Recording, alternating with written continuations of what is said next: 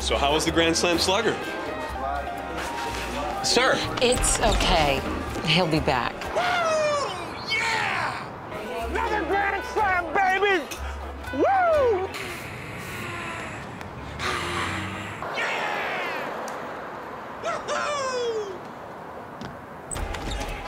Take on the new Denny's 2468 value menu and visit espn.com slash Denny's to see how your next meal could be on the house.